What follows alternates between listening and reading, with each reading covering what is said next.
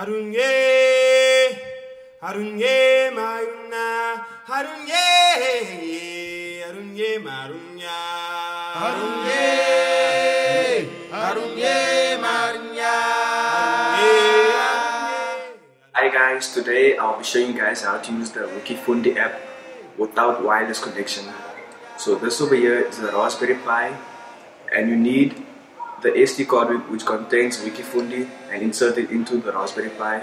For the Raspberry Pi to work you need to plug into a power source of any kind and for using a computer you go select your Wi-Fi and select the Wikifundi Wi-Fi to, to use your to use and search in Wikifundi in a wireless server. So I'm going to show you how to use the Wikifundi app. First of all, you go to your Wi-Fi. After that, this page is going to come on your screen. And you can start by creating your page. And you go to create account. Create an account until it'll ask you details, which is your username. And you can just put in there. After you've gotten your Wikifundi uh, account, you go to your welcome page.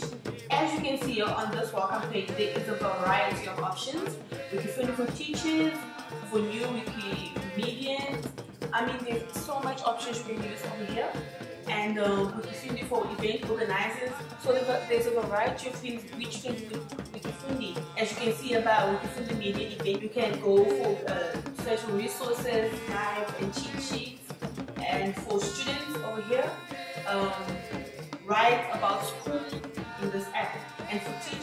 actually specially created for answer to answer questions from educators um, and students.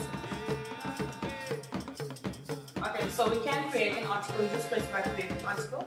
For example, we are from Kombukinshasa, so we can write an article about where we come from, which is, uh, for example, Mbuji-Mayi. So we can write an info article, maybe let's say for example, our home, and we just click that in there. Um, and then we can start creating an article about uh, our home and our origin and so on. And afterwards, we'll just write a bit about that. You can save. After saving, they will ask you if you need to edit your summary. You can do so if needed. In this case, uh, I like to do that. So I can just write this part.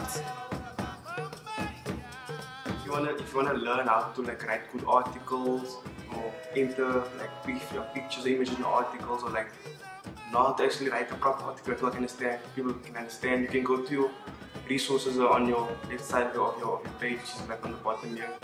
So show you how to enter pictures into your articles, make proper articles, you know, make your article look like um, it's written by someone actually. Once you've landed on the Wikifundi page, they'll give you different options. There's not only creating articles, there's resources, there's Wikipedia full access where you can use Wikipedia without any connection. There's Wikimed where they teach you about different kinds of diseases.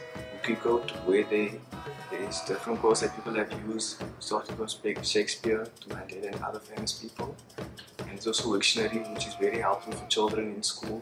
You can teach them different words and pronunciations.